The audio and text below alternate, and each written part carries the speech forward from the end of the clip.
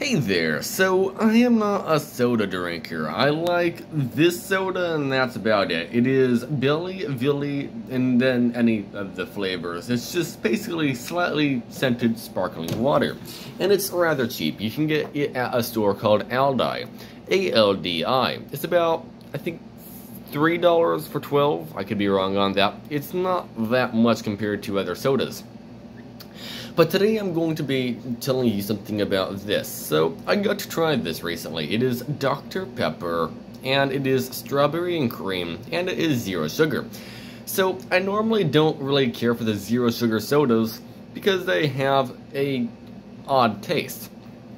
I don't know if it's because I've never had this before or what, but I like it quite a bit. Now, don't get me wrong, it is not healthy for you, alright? It's not great, but it is probably better than having a whole bunch of sugar, like 60 grams just in one drink. But if you look here, the ingredient list is rather long. It's full of things you probably aren't supposed to have. It has uh, enough caffeine uh, to be an entire cup of coffee. And to add to that, it also, well, just in general, probably just isn't that good for you.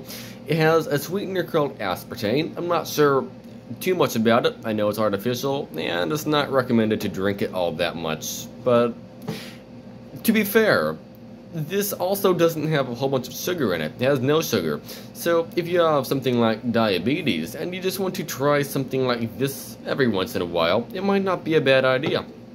Because if you have, for example, diabetes, Drinking, for, uh, for example, a can of Coca-Cola could get your sugar level sky high, 250, 300, and then you won't feel good for the rest of the day. But at least with this, that won't happen, or shouldn't happen at least.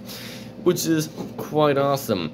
Though, yeah, I don't know too much about these sugar-free sodas. I've tried some other ones from Coca-Cola. I didn't really like that one. But I also don't really, really like Coca-Cola in general, so there's that but I haven't really tried that many different sodas to be fair, because I just don't really care for them for the most part. But yeah, I just wanted to say, if you are wanting to try something new, I do recommend trying out the Dr. Pepper Strawberries and Cream with zero sugar. It is worth a try. I don't taste the fake sugar in it, and it does taste quite good. And also, well, that was the air conditioner turning off. Either way, thanks for watching, and have a nice day.